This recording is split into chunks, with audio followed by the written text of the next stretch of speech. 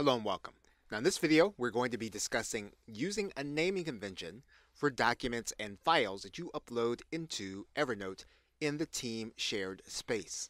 Now we've already discussed the fact that you and your team should place individual items inside of one particular note and that those notes were sometimes searchable in the case of an Office document and sometimes they weren't in the case of a Google document.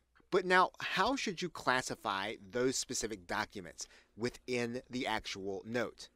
And this is important because when a project extends for a long period of time, you can you can have a lot of notes and not all of them will be relevant and it can actually clog the search when you're actually trying to find something specific.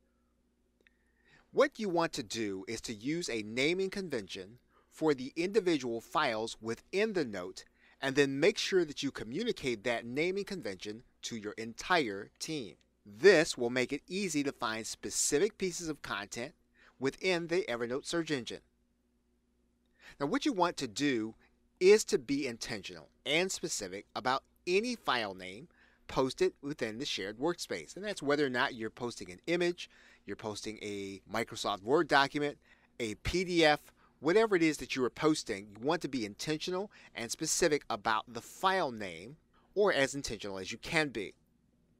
So let's talk about the basics of a naming convention.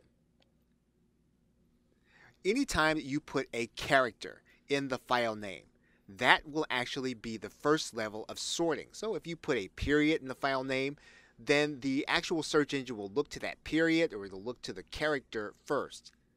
The second level will be numbers. So if you use a number convention, in that particular case, if you use a number like 0001 or 0002, that will actually sort in a, at the second level. So that is another way of being able to make your file names unique. When you actually place words in your file names, you want to extend and use dashes between the alphabet letters.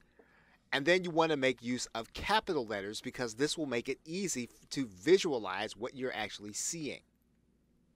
Now, when you're working to be a little more advanced, the key is going to be consistency in exercising the naming convention. So, what you can do is you can add in a word that represents a date. So, that the words you can add in a numerical date or even a month and a date.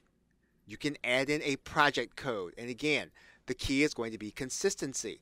And this will again make your searching easier across your notebooks you can add in a teammate code. So if you have a team that's been together for a specific period of time, you'll not only want to use the tagging, but in the specific file name, you want to actually use that teammate code because again, that will make finding the document as easy as it is.